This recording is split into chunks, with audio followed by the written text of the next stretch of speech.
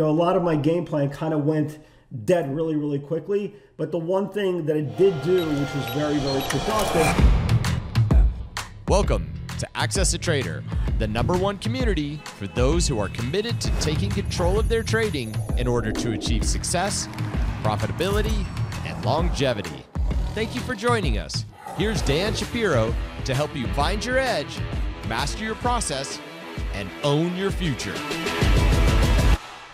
Hey guys, good evening everybody. Welcome to another edition of uh, the AccessTrader.com nightly wrap-up show. Hope everybody is doing well. Uh, just a sh- little bit shortened of an update. Uh, my daughter has a softball game, so I have to drive her. So, um, so I apologize in advance. So let's let's talk about it. We, we, we talked about the weekend update. Um, very very important day today. Um, market needed uh, to kind of give a definitive answer of what's about to happen next.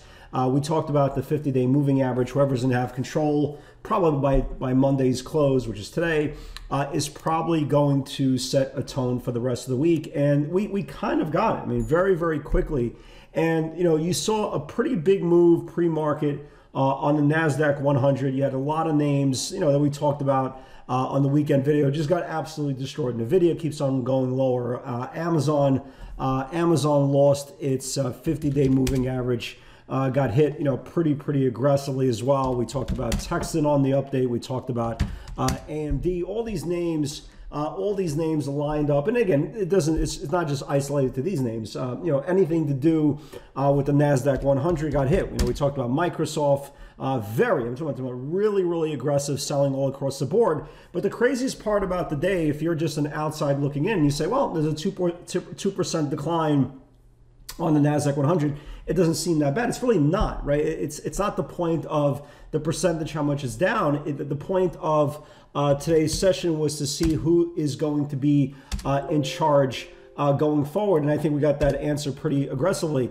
The weirdest part about today's session was, and we, we were talking about it on uh, on the on the webinar. It, it didn't feel right. It didn't feel like it was one of those all day throw the baby out with the bathwater type of scenarios because the problem with with today's day intraday right intraday only we're talking about a lot of these names gap down so aggressively that they were beyond their average true range. So, for example, if um, you know, if Microsoft, for example, has an average true range, let's just say seven eight dollars, it put that in on the opening print, right? Same, the same thing like an AMD, maybe four or five point AMD range. They put that in, in the open. We saw a lot of names like that. So when you look at the Nasdaq 100, the Qs, and you look at it for the day, and you're like, oh, what's it's what's not a it's not a big deal, right? You're saying to yourself, ah, went up a little bit, down a little bit, up a little, down a little bit. So if it looked like there was a lot of strength in this morning and kind of towards the end of the day, but you know, in the afternoon, they, they kind of pulled it into the close you, you wouldn't be wrong, right? You, you definitely wouldn't be wrong. Uh, you saw a lot of disconnect today, okay, which is a, a very common theme when stocks are being defended or stocks are being confirmed, right? You have a lot, a lot of that theme there. Um, you also had a lot of stocks today open up lower, then went higher. Then you had a lot of stocks today open up lower, kind of drifted lower the whole day. So usually when these things all go, right, they all go in one direction. They're either all going to be strong or they're going to be all weak. And today was for the first four, four and a half hours, maybe five hours of the day, some were strong, some were weak. But when you look at the scoreboard towards the end of the day, you're going to realize the same common denominator that all these stocks had, right? They were building and people were being and people were buying these quote unquote dips. And this was all happening underneath the 50 day moving average which is not good. And it kept on and, and we kept on reiterating the point today. It, it wasn't one of those days that you turn around because again 99% of my watch list got absolutely destroyed literally burned into flames. Like again i wasn't shorting uh, nvidia down 16 from the pivot. It just wasn't going to happen. So a lot of my you know a lot of my game plan kind of went dead really, really quickly. But the one thing that it did do, which was very, very productive, is giving me more data points, is giving me more uh, collection of what I believe is going to happen next. And what seemed to be strong names, like for example, Tesla seemed strong today, right? Didn't it seem kind of strong today?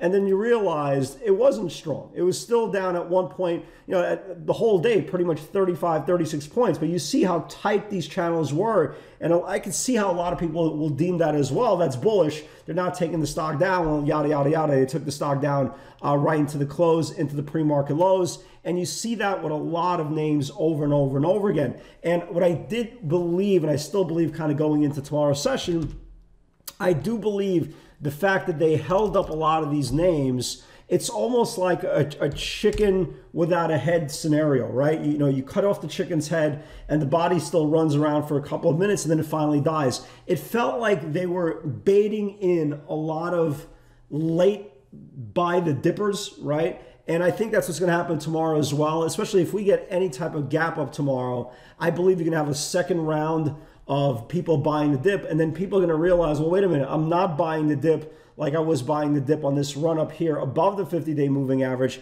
It's going to dawn to them after the fact, after they realize that their stock didn't hold. It's going to it's going to dawn on them that they they they started to buy stocks underneath the 50 day moving average. And that's obviously uh, not a good thing. Um, I do believe, um, I do believe the NASDAQ 100 still has more room down. Obviously, any gap up tomorrow into supply is not going to be a good thing. Uh, then we can have a potentially green to red scenario on the bottom ranges and all these. But not only do uh, not only do the, the semiconductors right continue to lead the way. Like look at look at look at a name like LRCX, which I like for tomorrow. Right, LSR, LRCX uh, had a low that it put in on March 14th. It's been kind of going sideways, you know, up and down, up and down. But if it could start clearing out this whole channel here, there's a lot of room down here. Same thing with uh, AMAT, right? A lot of room down as well. But the one group that's you know that's very interesting to me is the financials, right? Namely, the credit card companies. You know, again, you, you'd figure with rising rates and especially another deem of another possible 50 basis points